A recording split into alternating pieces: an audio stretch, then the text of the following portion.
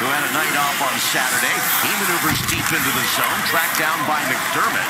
Those two glare at each other, have a few words, nothing more at least for now, but they are possible combatants later on as Lizotte comes in for the Kings, slides it deep against Vlasic, and then Lizotte loses an edge.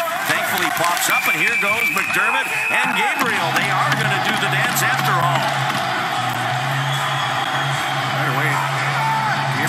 to him in warm-ups even. MacDermid getting the right arm free, coming over the top, and then he throws a left jab. Gabriel's helmet comes off, and that's puts him at a disadvantage. He hasn't been able to land a punch yet on big Kurtis MacDermid. And now the linesmen get in the way, and that'll be the end of that. MacDermid stands 6'5", 233.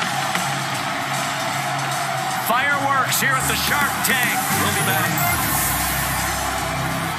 And in warm-up is you're going to see Kurtis Gabriel there walking across that red line and coming over the red line was MacDermid. He gives him a little bit of a shot right there. They spent some time talking and Dermott had his back to Gabriel pretty much that whole you know, warm-up. Didn't want any part of the conversation, but they dropped the glove, and this is where it ends up. And both guys getting some lefts in, and MacDermid coming hard with a couple rights, knocks his helmet off, gets a couple of good ones in there as Gabriel hangs on and eventually lands a shot or two himself. But MacDermid, give him some credit on that fight.